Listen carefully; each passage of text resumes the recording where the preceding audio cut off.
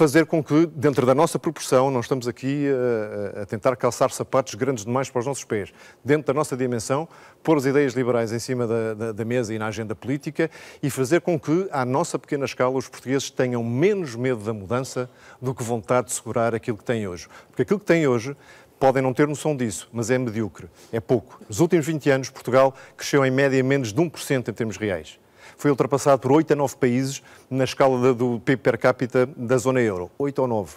Verdade. Somos hoje o antepenúltimo país mais então, pobre que é que da zona euro. Que é que se, não, que e a pergunta que se faz, uh, Fátima, é que eu não percebo como é que não é feita mais vezes. E, sobretudo, porque é que não é respondida, é porque é que isto acontece. Os outros são melhores que nós em quê? Em dimensão, em recursos naturais, em população, em qualificações.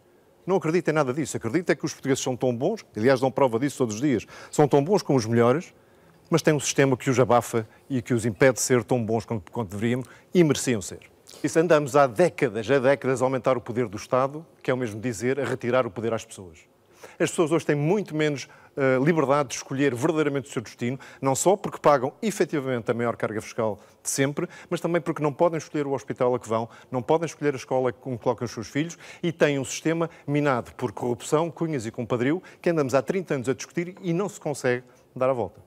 É? Portanto, estas coisas estão a retirar o poder às pessoas. E os, os, portugueses conseguem fazer muito mais que isto, e só quando os, uh, os, partidos que efetivamente podem influenciar as decisões políticas derem aos portugueses a confiança que eles merecem, que eles merecem, porque eles são muito melhor que isto. Nós não somos o terceiro pior país da Europa, como nos querem fazer crer, a, a, a, fazer fé nos crescimentos económicos que temos tido nos últimos anos. Não somos. E só não somos melhor porque não nos deixam. Não saem de cima.